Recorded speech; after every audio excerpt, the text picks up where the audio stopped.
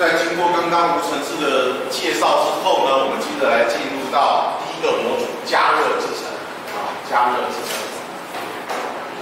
那在进入这个加热制程呢，我们刚刚回顾之前我们讲的，silicon 有一个熔点一千四百一十四度，超过这个温度，细晶圆就会融化，因为锡本身也会融化，所以整个加热制程的温度基本上不会超过一千两百度了。一般不会超过一千两百度，因为只要靠近一千四百度，它可能开始变形。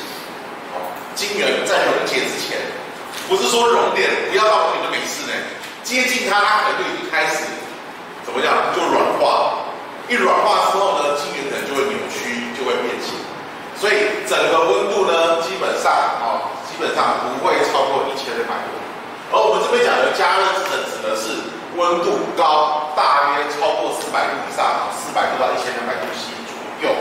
因为在半导体制程的设备当中，绝大部分的制程设备都有加热的功能，只是这些温度可能都在三百度以内，而会特别使用到特别高温的加热层，可以说叫做高温制程好了。我们这边这个章节主要讲的是高温制程，而在整个细晶圆的制造过程中，哦，刚刚讲熔点是一千四百。一千四百一十四度，可是，在晶片的制造过程中，会使用到高温制成的，主要有四个目的。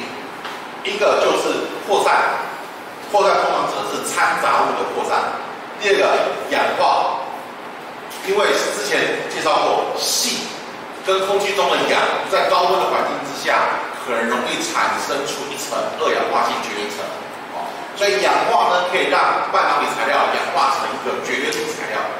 绝缘体材料，再来就是沉积，薄膜的沉积，薄膜的沉积需要高温来促进化学反应，要化学反应才会形成薄膜，所以通常需要高温来达到薄膜的产生啊。因为一般的原材料是气体，而气体碰到气体，如果温度低的话，它是不会产生化学反应形成薄膜的，它必须要高温的环境下才会形成薄膜。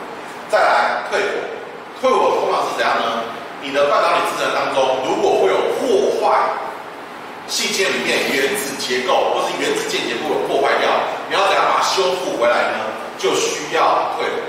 退火就是一种高温热处理，因为只要温度高，载子才可以获得足够的能量来移动，而移动呢，它就会从被打歪掉的位置再回复到晶格点的位置。因为我们之前讲过嘛，细原子它是按照晶格去排列的，是吧？按照晶格排列。它如果不在晶格点的位置上，就需要给它能量，让它跑回晶格点的位置，这就是修补。所以退火本身是一个修补的作用，修补晶格内缺陷的过程啊。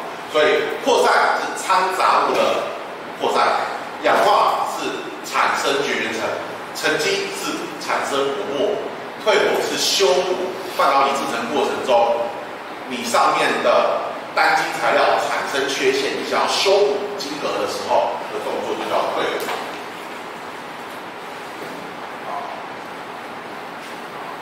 那整个加热制程当中呢，分别有所谓的硬体设备。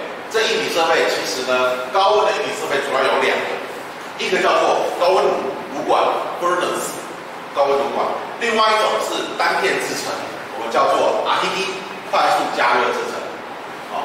所以呢。目前的高温加热制程主要有两种腔体，一种就是炉管，那炉管一次可以进一盒甚至两盒晶圆，可以就看你炉管的长度，炉管长度越长就可以进越多的晶圆去作业，所以这种同时可以是同时可以进行两片以上晶圆的制程，这个我称之为批量制程，就一批两批的批，批量制程。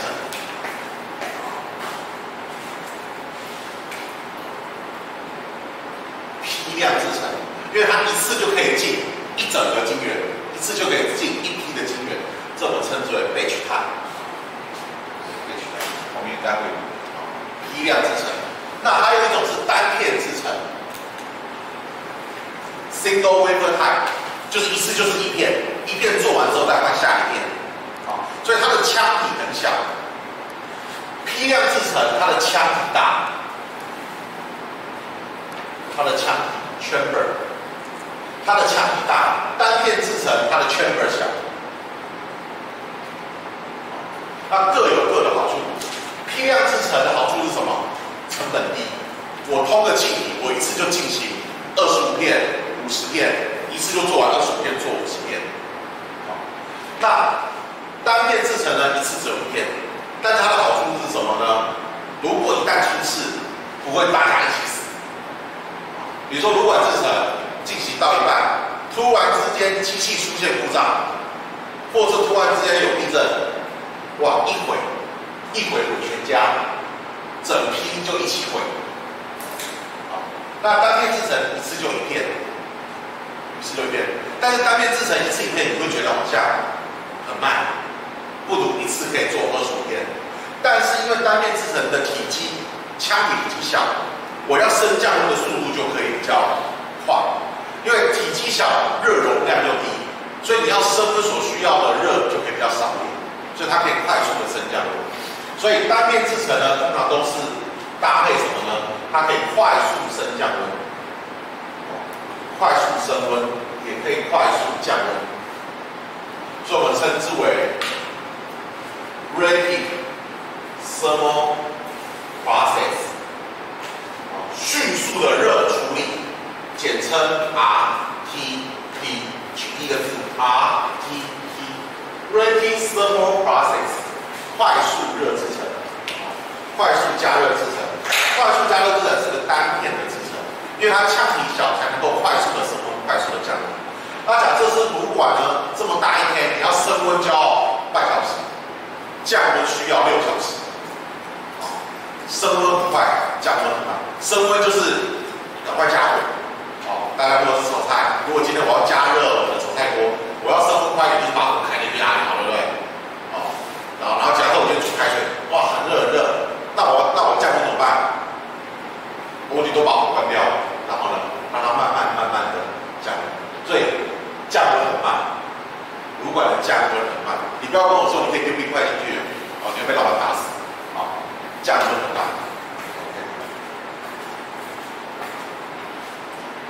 好，而整个加热制程当中呢？最早最重要的制成就是氧化。什么是氧化？就是氦跟氧产生化学反应，结合形成键结，会产生一个天然的氧化物，叫二氧化锡。二氧化锡非常的好，silicon 是可以说成为现在制造晶体电路的最主要材料。除了它便宜、含量多之外，它更大的优点就是它的氧化物是一个热稳定性非常好、非常坚硬的介电子材料。所谓的介电子，你可以想的就是绝缘层，介电子就是绝缘层，啊，介电子就是绝缘层，啊，它就是，呃，对，就绝缘层。然后呢，它很容易可以通过高温的过程当中形成，啊，那这是细长的 IC 产业主要半导体材料主要原因，啊，因为它容易氧化，而且氧化出来的的薄膜热稳定性很好，热稳定性非常的好。所以回到这个，晶圆进到无尘室之后呢，它就可以去经过热处理。我们先介绍就是这个模组，热处理这个模组。那加热的过程呢，所使用的炉管我们就称之为高温炉 （furnace）。高温炉，那高温炉一般也可以称之为扩散炉，只是现在很少人在用扩散，只有学校还有在用扩散。现在的先进晶体电路的制程当中，已经没有在用扩散。扩散是比较早期的名词，因为早期半导体的掺杂、晶体电路的掺杂靠的是扩散这个动作，但是现在都改改用离子，也就是说不再是使用高温，然后呢，都可呢从表面慢慢扩散进去，已经不用这种技术了，只是只是以前是用这种技术，所以通常高温我们就叫扩散，但现在基本上不太使用扩散这个动作，所以就高温就叫高温。那高温炉又分什么呢？水平的跟垂直的。哦，水就是炉管是长条的，水平摆放跟垂直摆放两种。水平摆放跟垂直摆放有分两种。那高温炉必须稳定、均匀、精准的温度控制，低微粒污染、高生产率、可靠度以及低成本。废话，就是能好的尽量越好越好。啊稳定性好，均匀度高，精准的温度控制，低微粒污染，高生产率、可靠度以及低成本，都被他讲走了。哪里有废话？啊，有点像废话一样。能好的地方当然尽量好，能要求的地方当然尽量要求，因为你是花钱买管的。那炉管整个加温炉管，整个高温炉呢，基本上你可以分为五种套件。这五种套件分别有控制系统，其实就整个电脑化当中，你要输入指令的地方，要去控制每一个机器该怎么运作的控制。还有呢，炉管本身，这就是腔体，腔体。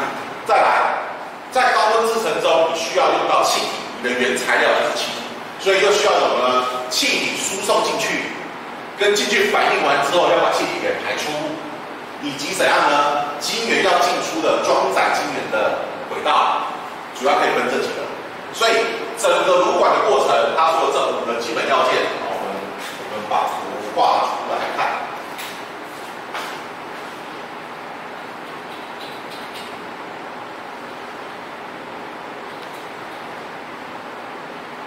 好，这是个炉管的示意，呃，炉管的实景拍摄，大家可能看不出来，对不对？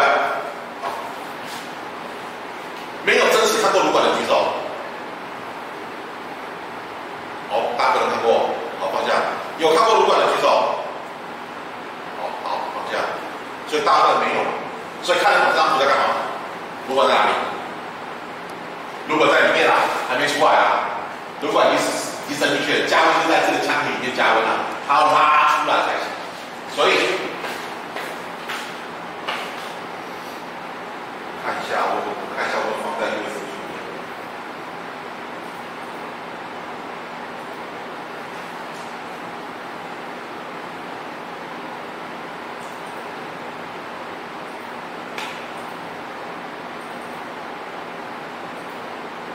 我有下一节再透过来给大家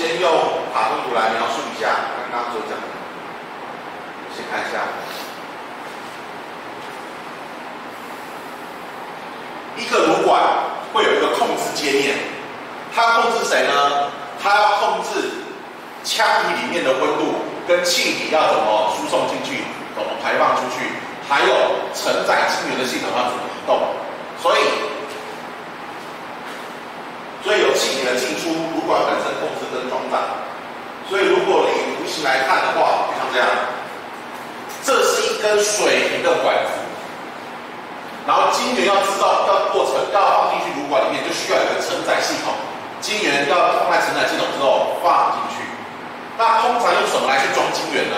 一定要是一个热稳定性非常好的材料，因为刚才过我炉管本身是个加热制成，它的温度甚至会上升到一千两百度，所以承载晶圆的东西，那个东西的热稳定性要。而东会用什么呢？会用十一，或十一，啊，十一就是单一的二氧化碳好，那十一呢，做成的这个我们称之为金钟，boat，金钟，钟就是船的意思，轻舟已过万重山的舟，因为它是装的，它的乘客不是人，是金元，所以这个这个承载装置就称之为金钟，早期是用金钟啦，现在就直接是一根一根管了啦。因为早期只有只有一小船，就是早期我们在大学生的时候，在做四寸金圆的时候，有一个小金钟，金元放上去二十五片之后，再把金钟慢慢的往里面推。那现在是直接一整个十一的承载基座啊，所以所以这里应该会有一个承载的装置。这个承载装置就是要用控制面板控制什么时候出来，什么时候进去。而出来的时候呢，这个管口管口的开关就要打开。管口打开之后呢，晶圆才会拿出来，或者才可以拿进去。那晶圆完全进去之后呢，管口就会封起来。封起来之后呢，哦，它里面会通着气，然后开始加热。它是利用加热线圈加热。而一般炉管呢，一般炉管至少会有三组加热线圈，分别在哪里呢？管头就是进出的端点，管尾通常气体是从管尾吹进来，管尾。以及怎样呢？中间放置晶圆的地方，哦，那又因为管头外面是室温嘛，所以管头这里的温度会比较低。管尾因为外面也是室温，而且气体从那边吹进来，气体吹进来会凉凉的，就像过去吹电风扇一样，气体吹进来的地方是凉的，所以呢，这里的温度比较低。所以真正加热到一千两百度，我们确认。晶圆要遭受到一千两百度的高温制成的时候呢，我们要确保是晶圆的第一片到晶圆的最后一片这段区间是稳定的一千两百度就 OK 了。好，头尾因为晶圆不在头也不在尾，它在中间。好，那当然一般都会怎样呢？一般都会在头尾的局部地方也都保持跟炉管中间一样的温度了。现在的机台做的越来越好，它维持温温度平坦区越范围很大。范围，其实说穿了，你只要把线圈，你越有钱就缠的越多一点嘛，或者是越均匀越长一点就可以，啊，越均匀越长就可以了。所以会有控制系统，控制什么呢？控制这个承载装置的进出，控制这个加热升加热线圈的升温，控制气体什么时候要进来，什么时候要排放，就需要这个控制系统。所以回到刚刚的影片。这个就是一个控制面板，这就是一个控制面板。然后呢，你会看到刚刚讲的加热线圈，可以将炉管分为三个区间，哦，有头、有尾、有中间。然后你会看到，现在它设定的温度都在六，都要六百度。下面这个是设定温度，上面这个是实际里面温度计，thermocouple，一般是用 thermocouple 来测恒温，哦，你就想的是有温度计。然后温度计测出来的温度，你会看到，哇，这里五九九、五九六、六零一，最高温、最低温只差五度而已。会不会觉得，我不知道在你们眼中是不是哇很好？基本上在这种情况下还要等一阵子。通常它可能会设定到底这三个温差小于多少度，它才可以开始进行制成，才可以喷气，这可以设定。这可以设定，所以如果升温的时候，大家有知道升温有时候不小心可能会升过头嘛，对不对？所以通常升过头的时候呢，它的那个加热线圈功率就会下降，等它慢慢的再降温回到稳定的温度。所以炉管呢，它的升温通常会 overheat，overheat，或者是说快到的时候呢，你会加热的功率就会下降，让它慢慢稳定的上去。但是总会先有一段稳定温度，当温度都稳定，功率也稳定之后呢？它可以开始空气，而这时候你可以控制你要通的气体有哪些种类，有 O2，有 N2，还是有什么气体，就看这个炉管配了多少个气体管线进去，可以用控制面板来控制。它可以控制我温度到达几度的时候，在多少时间内通什么气体，然后这个气体要通多久，要关掉它跟不同的气体，这些都是控制面板在干的事情。所以严格说来说起来讲，控制面板就是一个城市。从第一步做到最后一步，炉管的第一步到最后一步，全部都写成程式，让机器去执行。操作员只要在面板端控制好，把你要的过程全部写进去，按下去，它就自动，它就自动会做，它就自动会完成。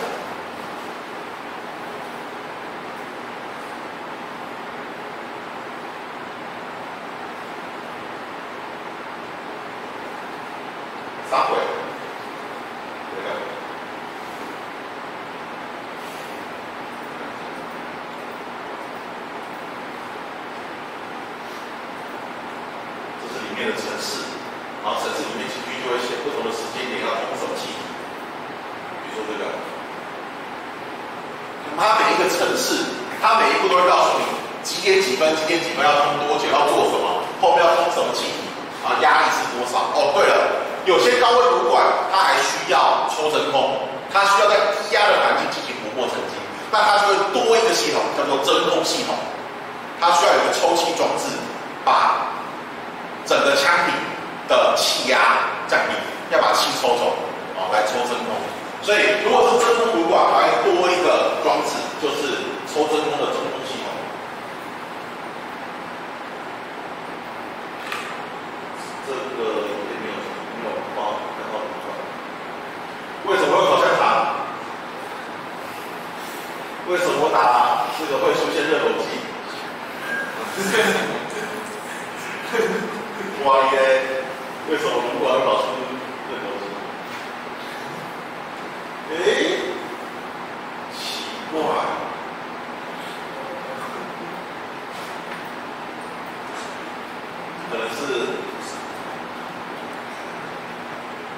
打分的四个外国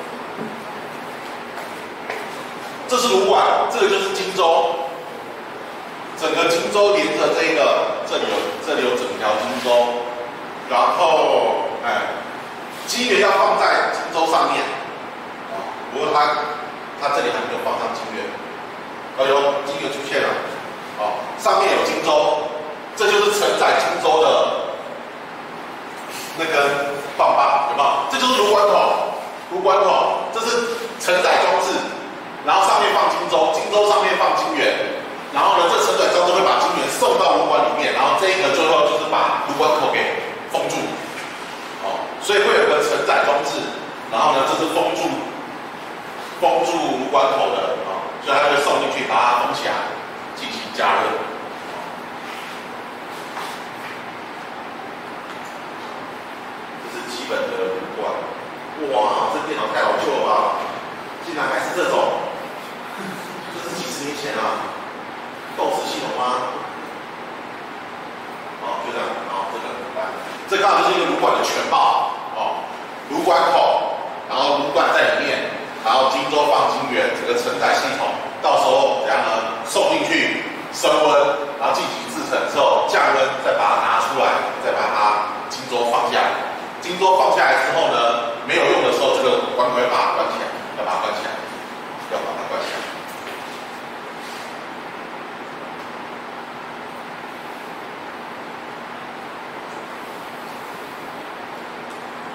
好，所以如果今天你的高温炉是需要低压的环境，你的腔体需要低压的环境，就需要多一个真空系统，就是多一个帮助，哈把气体排掉了。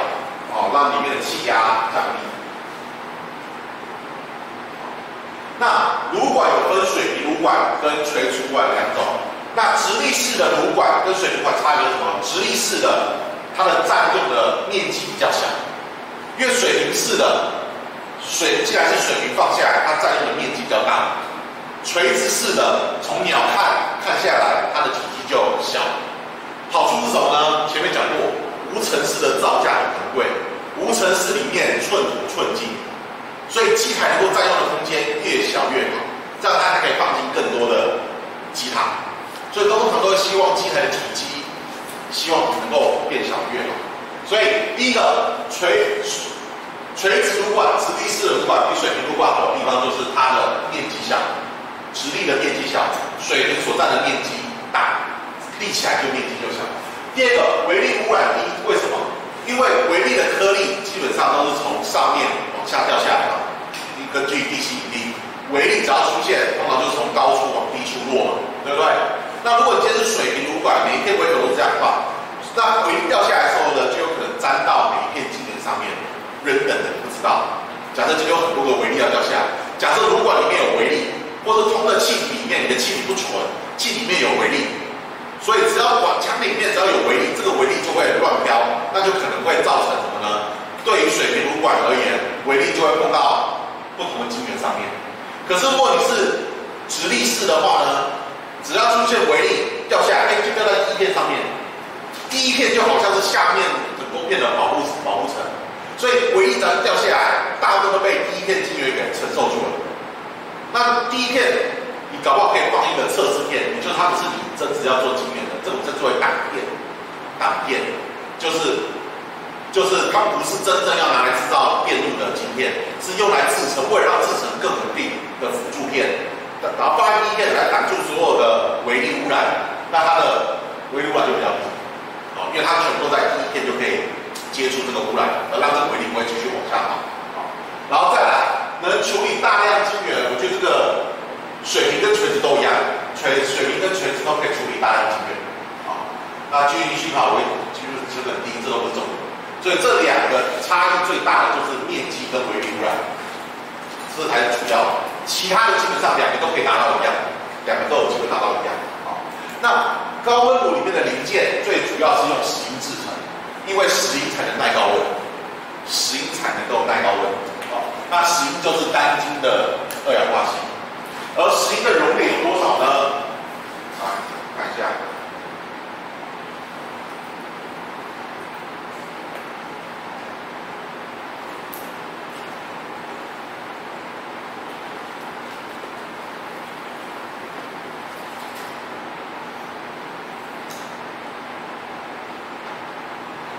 石英的熔点高达一千六百多。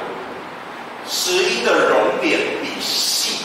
的熔点还要高，哦，石英的熔点比细熔点还要高，这要知道。所以，如果你今天要溶解 silicon，你用的那个载基座，你可以用石英，因为细融化了，石英都还没融化，所以通常石英通常可以拿来当干锅使用。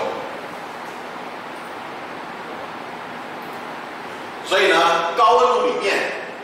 大部分的材料都需要耐高温，所以绝大部分都是使用石英来制造，石英来制造，包含晶圆里面的晶周，然后呢，晶周的承载架跟整个腔体、整个炉管的圆圈腔体也都是石英构成的啊，石英构成。那另外还有一种就是碳化锡，啊，但是因为它比较贵，也比较重，所以基本上绝大部分都是使用石英，啊，碳化锡也可以，但是目前 CP 值高的溴铬铜化。石英。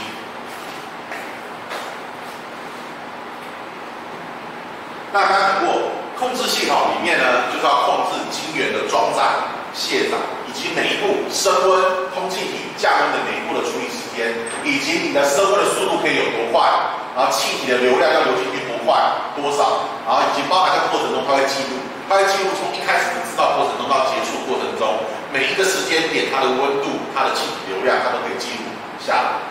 所以你看到，它可以控制制成温度的升温，但它无法控制降温，因为你没有给它降温的武器啊，请问它怎么降温？好，热要怎样传递？热的传递三种：传导、对流、辐射，对不对？哦，传导是要怎样？要接触，它热才能够流过去嘛，从温度高往低温度地方流。对流一般讲的是液体。或者是你可以讲的空气的对流也可以，啊，空气的对流会造成热，还有热往辐射，热辐射。那炉管里面你会看到，啊，炉管它不可能丢一个低温的东西进去帮它降温，所以炉管的降温只能靠它自然的热扩散，自然的靠气体的热对流，靠温度的辐射给降温。所以炉管降温很慢，好，像早期我在当学生的时候，今天要去找个二氧化锡。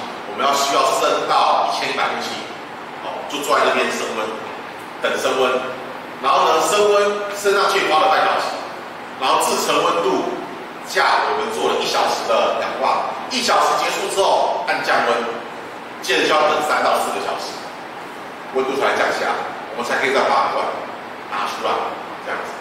所以通常我们都要赶在什么呢？赶在早上十点前，甚至九点再开始做实验。为什么？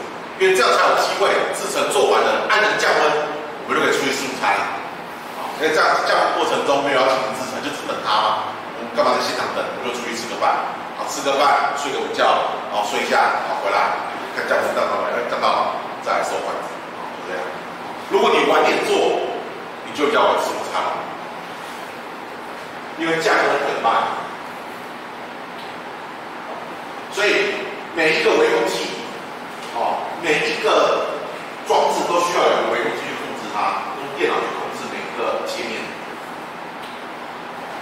然后呢，基本上是由气体或者是除气槽，哦，除气槽呢会有一个控制阀，会有个控制阀，这个阀门是控制开关，这个阀是控制开关，而这个呢是控制流量，哦，流量，这个称之为质量质量流量控制器，哦，这个质量流量控制器，MFC 就是质量流量控制器，Mass Flow Control，，Mass Flow Control。它是质量控制器，也就是说，这个是这个只有开跟关而已，就是有开有关哦，有没有打开有没有关起来。而而气体流出来之后呢，当你这个气体一冲出来，你要让它冲很多过去，还是冲少少过去，靠它。这里面有个蝴蝶阀，气体在过去的时候呢，它可以控制这个阀口要大还是小。阀口完全打开来，那气体就冲很快；阀口调小一点，那就冲的比较慢，就冲的比较慢。所以 M F 其实控制流量的，这个就要用电脑去控制。电脑可以控制这个开关以及这个流量阀，来控制你要充的气体的速度。哦，每单位时间要充多少体积的气体进去，这是控制流量阀。这是电脑在控制。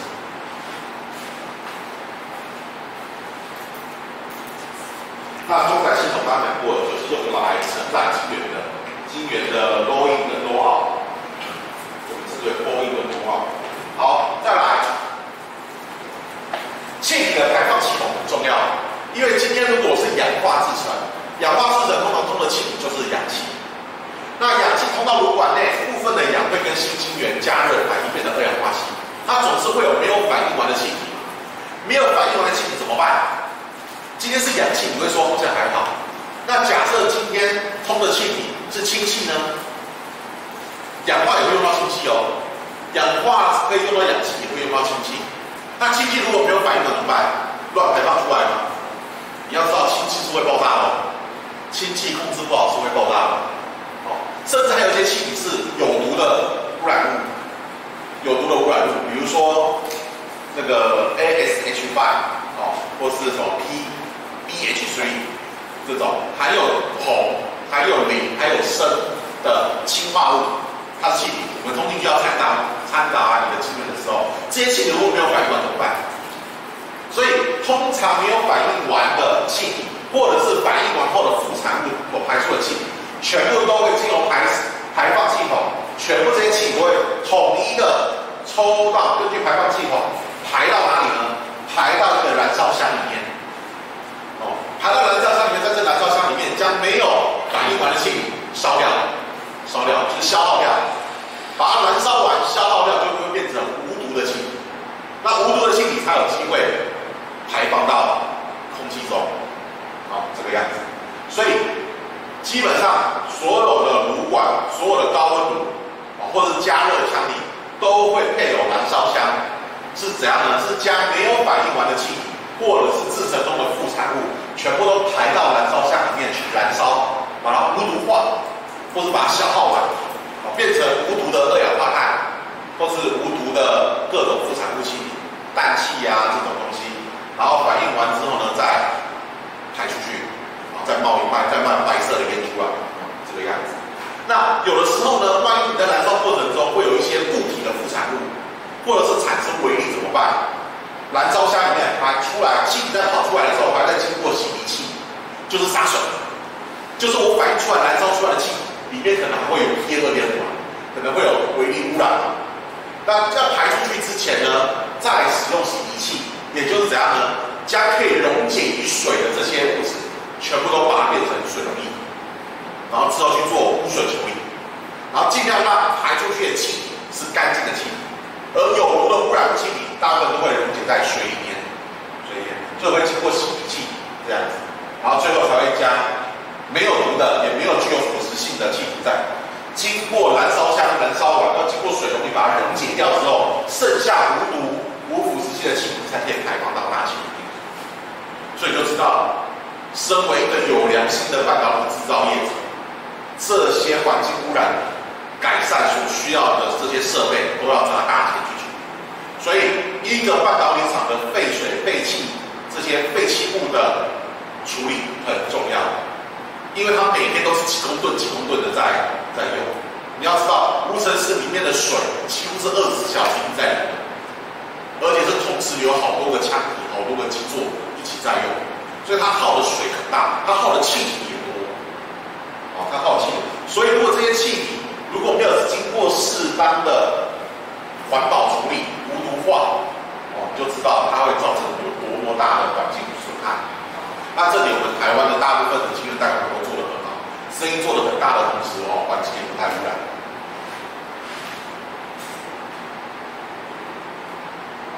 那这个就是刚才水平撸管的示意图跟垂直撸管，垂直撸管就是这样子上去下去，垂直的上下；水平撸管就是水平的进出，好，然后垂直就是垂直的进出。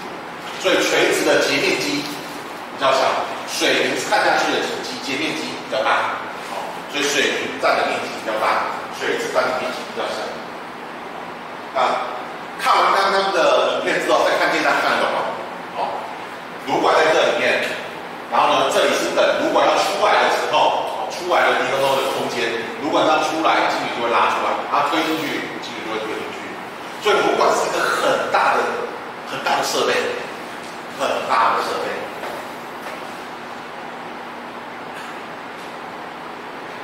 然后，这是垂直管，垂直管啊，炉管是垂直上下，垂直上下的。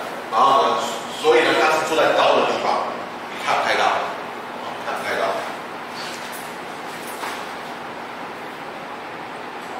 那这个就是垂直主管的示意图啊，一样，它是只是将水平的东西给立起来一样，然后一样，加热线圈分三组，中间的跟管头跟管尾各有三组加热器，以及控制加热器的感测器跟加热线圈，然后电脑可以控制你要升温你的功率，你用的电流要大还是要小，加热要快还是要慢。然后呢，晶圆呢，从机器手背，从机机座，哎，插进去，放进去，等全部放满之后呢，这整个再承载进去，承载进去之后加热，加热温度到的时候呢，制成气体，就会将气体冲进去，然后全部经过高温化学作用之后，氧化啊、退火啊什么的结束之后呢，气体再把它转换成一般的氮气，然后再把炉管推出来，变成这样子，这就是一个示意图。那如果你要抽真空的话，就会有一个压力控制器，啊，会有一个那个抽气的装置，把里面的气抽掉。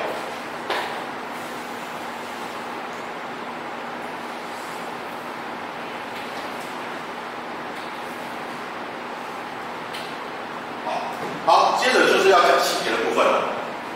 晶圆不论是要进去炉管，或是出来炉管，都是很缓慢的移动。为什么呢？会所谓热胀冷缩，哦，所有固体都会有它的膨胀系数，热胀冷缩。如果今天你的温差突然间给它很大，就好像这位 p o s t 温暖一样，它就很容易脆化，甚至会扭曲变形。晶圆只要扭曲变形，自动对准系统就会对不准，那它就报销了。所以，如果你的晶圆产生了弯曲，也就是我们所谓的 bending。弯曲了，因为加入热膨胀，你进去高温太快，从室温到高温你太快进去，它就瞬间要膨胀，然后表面跟内部的温度还不一致的时候呢，它的膨胀膨胀起来程度不同，晶圆就会弯曲。或者从高温到室温的时候呢，你瞬间的把它拿出来，哇，外面突然间变到室温的环境，可是晶圆的内部还是高温，那就会变成外面要缩了，里面还没缩，那就会也会弯曲。只要晶圆一弯曲，这片晶圆就报废了，因为在后面的黄光对准系统，它就对不准，它就没办法对准它。表面的图案也会偏离那 bendy 咱一歪的话，那一歪可能就是数十个 nanometer 或是 micro micrometer 等级，那它就对不准，晶片就坏。所以晶圆因为怕会产生很强大的热应力，所以要缓慢的进去，跟缓慢的出来。从室温到高温是慢慢慢慢慢慢慢慢，多慢？很慢，慢到什么呢？刚刚讲过这段长度，你按它勾印进去，过了整个荆州过了要进去叫 bolt，bolt 进去可能要花个十分钟到二十分钟，bolt 出来要等个十分钟到二十分钟。所以，假如我吃完饭回来，他没 bolt 出来，就说应该再买杯珍珠奶茶喝一下，再进来，我就在这边等，等他慢慢慢慢的等，真的就是这么慢，就这样慢慢出来，所以在搞。哦，他比我这个速度还要慢，你也可以快一点，但是不要承担今年可能会弯曲的后果。这个是现代种，像早期我根本都等不及，我的曝光都是手动对的，不是用不是用机器对的，机器对的规格就很重要，只要你的尺寸啊弯曲都超过规格，机器都对不准。那像我早期我们在做实验的时候是人工手动用显微镜去对准它，哦，那有时候就不想等，我就直接拿个吸管一杆进动，直接把整个镜头就直接推到碗里面盖起来吃饭，然后回来哦，来一杆进动再抽出来。但是我不会这么神经病、白痴的就直接从室温推进去。通常我们都会在它的荆州放放在炉关口，因为炉关口的温度毕竟比外面的温度高，质地里面低温低一点，所以一般都会将荆州放在炉关口放个五分钟，让它慢慢慢慢热身了，我再干进去。这样会不会学吗？学长都说要慢慢的进去，慢慢进去。等我变成学长，我就变成直接进去学了。因为学校做实验嘛，学校做的东西不要跟业界竞争。我会讲求舒服啊，有效的好，啊，当然这是不好。可是如果是自动化系统就没有办法，因为自动化系统只能等，他就不让你这么快，那怎么办？就照等，好。所以高科技就是它会自动化，但是你雷不敢走，因为它没有进去啊。它还没有进去之前，万一出了任何事情，你人不在就毁。所以你要在那边轻点目睹他进去。这样子好，那氧化是整个加热过程中最重要的步骤啊。它一种添加制成，因为它添加了什么呢？它将氧气添加进去，然后跟氢产生了二氧化氢，所以这个二氧化氢会叫做成长二氧化氢。因为二氧化氢的生成会用到它的硒来自于硒晶圆这个原材料，所以有利用到原材料所产生的薄膜，就称之为成长 growth，所以这叫做 SiO 的 growth。成长二氧化硒，所以这个硒来自于硒晶圆，然后这 O2 来自于外部给它的氧，产生反应之后就变成了二氧化硒。二氧化硒，而二氧化硒的氧化是个什么步骤呢？它就是氧到了细晶圆表面之后呢，跟细晶圆表面产生二氧化锌，然后就产生了第一层薄膜。那后来的氧怎么办呢？后来的氧是跑到二氧化锌的薄膜表面之后呢？然后呢，融进去，穿到到里面，然后扩散，经过二氧化硒层，扩散到细的表面后，再跟细里面的表跟细表面再氧化，再生成新的一层二氧化锌。然后呢，后面的氧再透过前面生成出来的二氧化硒，再扩散，穿越，钻到碰到硒，再氧化。所以氧化过程它基本上是两阶段。第一阶段是什么呢？氧气必须要钻进二氧化硒里面，然后扩散到表面，所以它需要第一个扩散进去，直到氧碰到硒，它才开始产生化学反应，生成新的二氧化硒层。所以整个二氧化硒层的产生，氧化是哪里在氧化？是硒的表面在氧化，在氧化。所以硒的消耗是一直往内部消耗，一直往内部消耗，而越往内部消耗，长出来的二氧化硒才是最新的二氧化硒。越表面二氧化硒是越旧长出来的二氧化硒，所以这是成长，它的成长是这样子，啊，不知道大家有没有想过？所以二氧化硒的成长是往内部不断的生长出来，而生长出来的就继续往后，啊，所以细晶的表面氧过来了，就会消耗部分的 C 层所以 C 层会消耗哦，C 层会消耗。然后二氧化硒的原子密度比较瘦，比较瘦，所以体积会比较大。二氧化硒的体积比 C 粉的体积来的大，所以会产生二氧化硒。所以产生这样的二氧化硒会消耗掉部分的 C 粉，啊，会消耗掉部分的 C 粉。那这个消耗的比例将近一比一，大约是四十七比五十三。谁四十七谁五十三，后面大家会讲到。如果你很难记，就讲要长两 nanometer 的二氧化锡，会消耗掉将近一 nanometer 的石英粉。所以如果你长出来的厚度是两 nanometer，你消耗将近一 nanometer。就这样，越长出来的二氧化锡所消耗掉的 silicon 跟 total 的厚度哦，这里差不多接近一比一。消耗的 silicon 厚度。哦跟最后的大概是消耗掉将近约为一半啊，然后呢，后面的氧再过来，它就必须跑到表面之后再钻进来，钻到哪里呢？钻到这个新的锡的表面，然后呢，继续再氧化出新的二氧化锡出来，然后呢，因为是膨胀的，因为二氧化锡体积比较大，所以呢，你越长，你 total 的厚度会，你 total 的厚度会越来越厚。但是 C 可能界面会越来越下面，所以你长出来的厚度可能是这个样子。应该说你的 C 可能只剩下这个样子，可是你氧化出来的，这是你原本 C 的规本，你消耗掉这么多，长出这么多出来，你可能长这么多。所以你消耗了这么多的 C 长出了这么多的二氧化碳出来。所以你的表面是一直在往上移动，你要应该说你的最上面的这个上表面是越来越膨胀，是越来越凸出来。所以氧化过后，你的晶圆是变厚喽。里面，你氧化出来的晶圆是变厚。好，因为二氧化锡体积比 C 的体积来的大。这个样子，只要知道。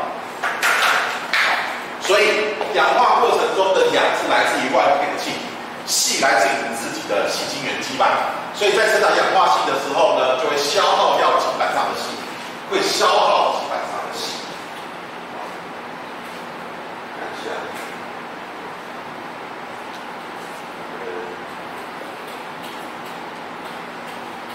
好，那没写没关系。而消耗的比例这里有写，